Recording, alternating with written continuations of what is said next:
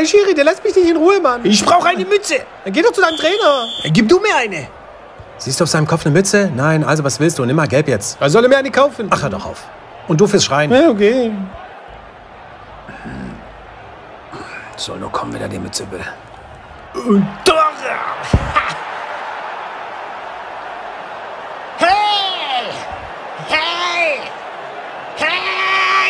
Was willst du von mir? Lass mich los, aua! Nimm bloß nicht meine Mütze, die habe ich mir gestern bei eBay Kleinanzeiger geholt. Hey, gib her! Okay, sorry.